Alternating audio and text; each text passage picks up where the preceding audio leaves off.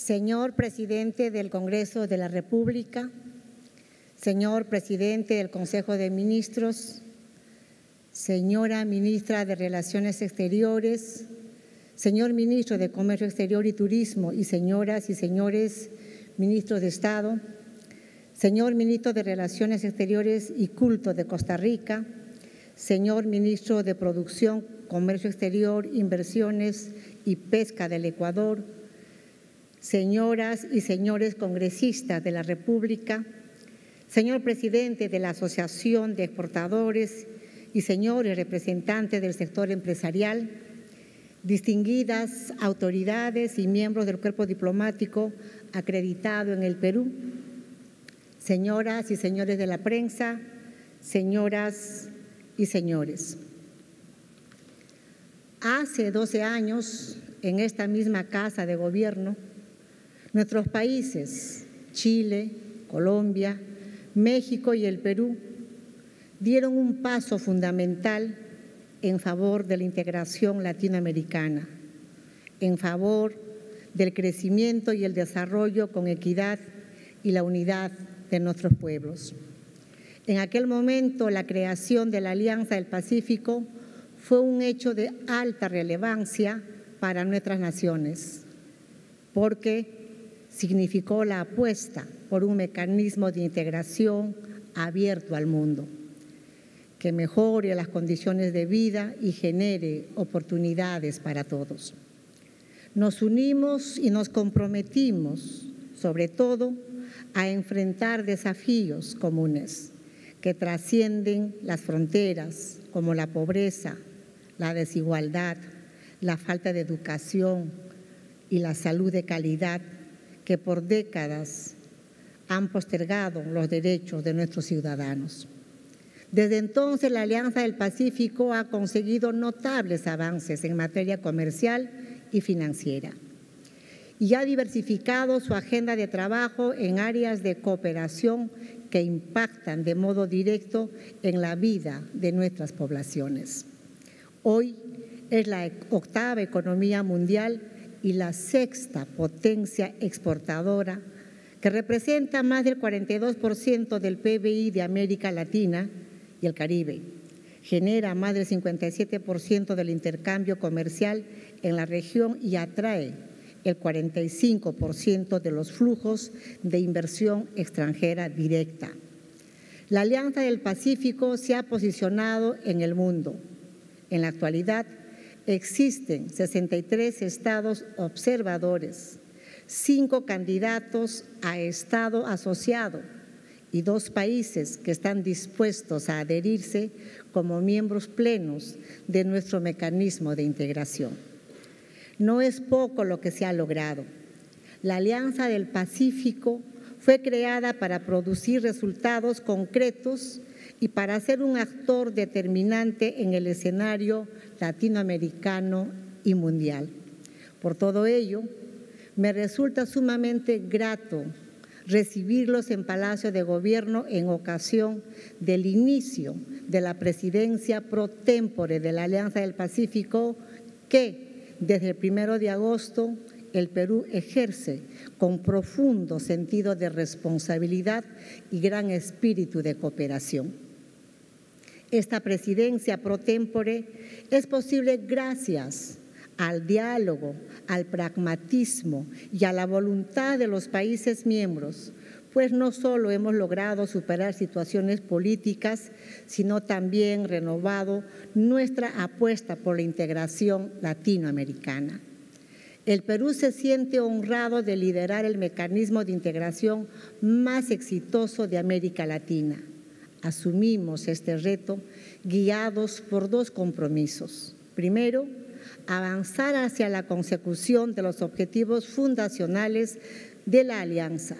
Y segundo, acercar sus trabajos a la población en busca de una alianza más inclusiva y más ciudadana. Ese es el sello que esperamos imprimir en nuestra gestión.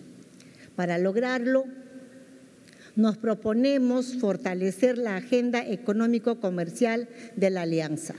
Impulsaremos la elaboración de una hoja de ruta para aumentar la competitividad y la internacionalización de nuestras micro, pequeñas y medianas empresas en áreas como acceso al financiamiento, compras públicas, innovación, tecnología, transformación productiva, digitalización y economía verde.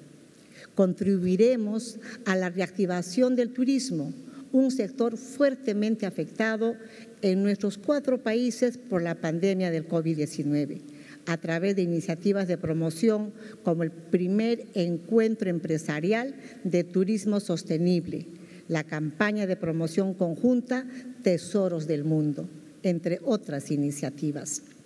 Seguiremos implementando la hoja de ruta del mercado digital regional con el apoyo del Banco Interamericano de Desarrollo, priorizaremos acciones para fomentar el despliegue de redes de alta velocidad y establecer una interconexión eléctrica regional. Continuaremos promoviendo la integración económica y financiera de la región, comprometidos con la implementación de políticas macroeconómicas y financieras sanas y prudentes. Revigorizaremos el pilar de la cooperación tanto para un mejor aprovechamiento de los mecanismos intra-alianza como en la gestión de la oferta y demanda de cooperación con los 63 estados observadores para materializar programas, proyectos y actividades concretas que mejoren el desarrollo económico y social de nuestros países. La Alianza del Pacífico tiene que tener rostro de mujer alentaremos acciones concretas para el empoderamiento económico de las mujeres a través de espacios de diálogo y capacitación al interior de la comunidad de mujeres empresarias de la Alianza del Pacífico. En el ámbito educativo, fomentaremos la enseñanza del idioma inglés, así como el sistema que fortalece la educación y la formación técnico-productiva en nuestros países. Impulsaremos la organización de un encuentro de altas autoridades en materia de desarrollo e inclusión social, a fin de fortalecer la cooperación en beneficio de nuestras poblaciones vulnerables. Nuestra apuesta por la juventud tiene que ser firme y clara. Retomaremos las conversaciones para el involucramiento de los jóvenes en los trabajos de la Alianza del Pacífico a través de programas enfocados a mejorar el emprendimiento y la innovación. A este respecto, en octubre próximo acogeremos el octavo encuentro de jóvenes en Lima. Fortaleceremos la articulación público-privada de la mano con el Consejo Empresarial de la Alianza del Pacífico, cuyos representantes de los capítulos de México, Colombia y Chile se encuentran entre nosotros esta mañana el sector privado que ha acompañado desde los inicios a este bloque regional será un aliado importante para impulsar una agenda proactiva y para darle dinamismo a la alianza. De igual manera, ha sido y será fundamental el apoyo de instituciones estratégicas como el Banco Interamericano de Desarrollo, el Banco de Desarrollo de América Latina, la Comisión Económica para América Latina y el Caribe y el asesoramiento técnico de la Organización para la Cooperación y el Desarrollo Económico. Tenemos que avanzar hacia una alianza del Pacífico más global.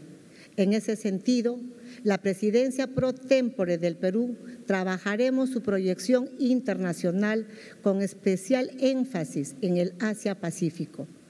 En ese marco, alentaremos la pronta entrada en vigor del Tratado de Libre Comercio con Singapur, lo que convertirá a este país asiático en nuestro primer Estado asociado. Asimismo, Promoveremos el inicio de la negociación de un tratado de libre comercio con la República de Corea y exploraremos condiciones para la reanudación de negociaciones similares con Canadá, Australia y Nueva Zelanda. Todos estos países aliados estratégicos en la cuenca del Pacífico. Coincidentemente, durante el ejercicio de la presidencia de la Alianza del Pacífico, nuestro país asumirá también la presidencia del foro APEC en el 2024. En ese sentido, y en aras de contribuir a reforzar la vinculación al Asia-Pacífico, impulsaremos un acercamiento entre ambos bloques para afianzar un intercambio de experiencias sobre una agenda común.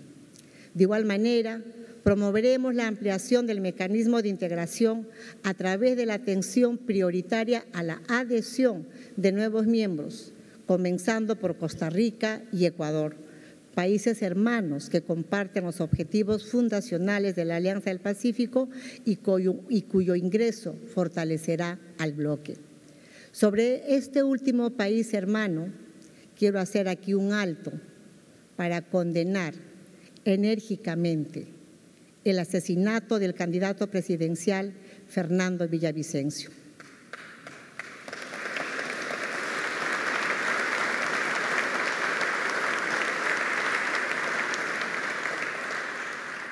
Ocurrido el último miércoles, el gobierno y el pueblo peruano rechazamos de manera categórica todo acto criminal que afecte el proceso electoral ecuatoriano y la democracia en nuestra región. Nuestras condolencias a los familiares del valiente periodista y político Fernando Villavicencio y al pueblo del vecino país por este repudiable hecho. Señoras y señores, es amplia y variada la agenda que tenemos por delante en la Alianza del Pacífico. Estoy convencida que priorizando el trabajo sustantivo y técnico de este mecanismo, podremos alcanzar las metas descritas y otras muchas más ambiciosas por el bienestar de nuestros pueblos. Quiero dirigirme a nuestros socios de Chile, Colombia y México y decirles que cuentan con el respaldo del Perú para toda iniciativa que fortalezca a nuestra alianza. Lo que nos une, lo que nos impulsa, es el espíritu de integración que dio inicio a este proceso, pero sobre todo lograr el bienestar para los 233 millones de ciudadanos y ciudadanas de los cuatro países. Crecimiento, inclusión y bienestar en el marco de la democracia con estabilidad jurídica y reglas claras. A mis compatriotas, quiero expresarles con convicción renovada que el Perú está de vuelta.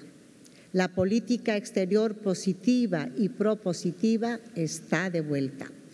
En mi reciente viaje a Brasil he planteado una Amazonía con rostro humano Hoy nos comprometemos a trabajar por una alianza del Pacífico más inclusiva y más ciudadana. Una alianza del Pacífico fuerte, viva, protagónica, que responda de manera concreta a las necesidades más urgentes de nuestra población y que asegure un crecimiento sólido, estable, sustentable e incluyente para nuestros pueblos. Viva la Alianza del Pacífico.